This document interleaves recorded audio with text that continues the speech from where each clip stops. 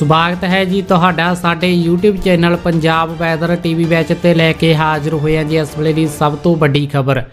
ਕਿਸਾਨ ਅੰਦੋਲਨ ਖੇਤੀ ਕਾਨੂੰਨਾਂ ਦੇ ਬਾਰੇ ਵਿੱਚ। ਹੁਣ ਕੇਂਦਰ ਸਰਕਾਰ ਵੱਲੋਂ ਆਈ ਹੈ ਵੱਡੀ ਖਬਰ। ਤਾਂ ਦੋਸਤੋ, ਵੀਡੀਓ ਨੂੰ ਪੂਰੀ ਅੰਤ ਤੱਕ ਦੇਖਿਓ ਤਾਂ ਜੋ ਤੁਹਾਨੂੰ ਇਸ ਵੱਡੀ ਖਬਰ ਦੀ ਜਾਣਕਾਰੀ ਮਿਲ ਸਕੇ। ਤੇ ਨਾਲ ਹੀ ਵੀਡੀਓ ਨੂੰ ਲਾਈਕ, ਚੈਨਲ ਨੂੰ ਸਬਸਕ੍ਰਾਈਬ ਅਤੇ ਵੀਡੀਓ ਨੂੰ ਸ਼ੇਅਰ ਕਰਨਾ ਨਾ ਭੁੱਲਿਓ। ਕੇਂਦਰ ਸਰਕਾਰ ਵੱਲੋਂ ਲਾਗੂ ਕੀਤੇ ਗਏ ਖੇਤੀ ਕਾਨੂੰਨਾਂ ਨੂੰ ਲੈ ਕੇ ਕਿਸਾਨਾਂ ਵੱਲੋਂ ਸੰਘਰਸ਼ ਲਗਾਤਾਰ ਜਾਰੀ ਹੈ ਤੇ ਕੇਂਦਰ ਸਰਕਾਰ ਅਤੇ ਕਿਸਾਨ ਆਗੂਆਂ ਦੇ ਵਿਚਕਾਰ 11 ਦੌਰ ਦੀਆਂ ਮੀਟਿੰਗਾਂ ਹੋ ਚੁੱਕੀਆਂ ਹਨ।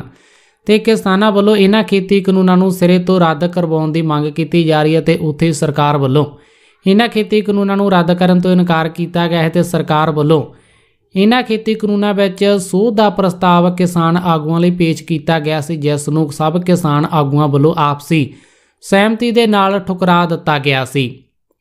ਤੇ ਹੁਣ ਕਿਸਾਨ ਅੰਦੋਲਨ ਦੇ ਦੌਰਾਨ ਖੇਤੀ ਕਾਨੂੰਨਾਂ ਦੇ ਬਾਰੇ ਵਿੱਚ ਕੇਂਦਰ ਸਰਕਾਰ ਵੱਲੋਂ ਇੱਕ ਵੱਡੀ ਖਬਰ ਸਾਹਮਣੇ ਆਈ ਹੈ। ਭਾਰਤ ਦੇ ਖੇਤੀਬਾੜੀ ਮੰਤਰੀ ਨਰਿੰਦਰ ਸਿੰਘ ਤੋਮਰ ਨੇ ਕਿਹਾ ਹੈ ਕਿ ਕਿਸਾਨਾਂ ਦੇ ਨਾਲ ਸਰਕਾਰ ਗੱਲਬਾਤ ਕਰਨ ਲਈ ਤਿਆਰ ਹੈ ਤੇ ਉਹਨਾਂ ਨੇ ਕਿਹਾ ਹੈ ਕਿ ਕਿਸਾਨ ਖੇਤੀ ਕਾਨੂੰਨ ਮੁਲਤਵੀ ਕਰਨ ਦੇ ਪ੍ਰਸਤਾਵ ਤੇ ਜਵਾਬ ਦੇਣ ਅਤੇ ਉਹਨਾਂ ਨੇ ਕਿਹਾ ਹੈ ਕਿ ਕਿਸਾਨ ਨੇਤਾ ਨਵੇਂ ਖੇਤੀ ਕਾਨੂੰਨਾਂ ਨੂੰ ਡੇਢ ਸਾਲ ਤੱਕ ਲਈ ਮੁਲਤਵੀ ਰੱਖਣ ਤੇ ਇਸ ਤੋਂ ਦੌਰਾਨ ਸੰਯੁਕਤ ਕਮੇਟੀ ਜਰੀਏ ਮਤਭੇਦ ਹੱਲ ਹੋ ਸਕਦੇ ਹਨ।